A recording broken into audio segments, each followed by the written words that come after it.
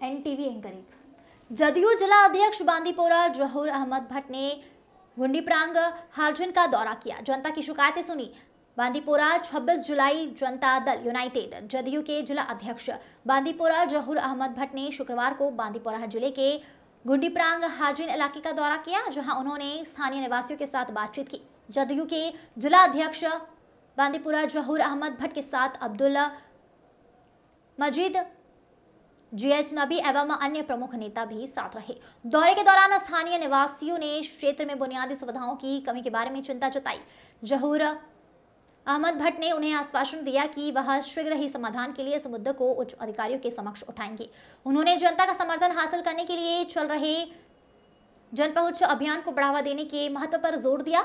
इस समय हमारा प्राथमिक ध्यान यह सुनिश्चित करना होगा कि लोग जनता दल, पार्टी के जन समर्थन एजेंडे और नीतियों के बारे में अच्छी तरह से जागरूक हो। लोगों को यह समझाना हमारा कर्तव्य है कि जदयू ही एकमात्र ऐसी पार्टी है जिसके पास अच्छा विकास है। न्याय संगत विकास सुनिश्चित करने के लिए परिभाषित एजेंडा है। मीर गोहर की रिपोर्ट। खबरें तो देश से बहुत आती है। लेकिन कुछ खबरें दिन भर की सुर्खियाँ बन जाती हैं। दिन की हर सुर्खी का निकलेगा निचोड़। हर खबर को पेश करेंगे बिना तोड़ मरोड़। एन टीवी टाइम, जनता की बात, जनता के साथ।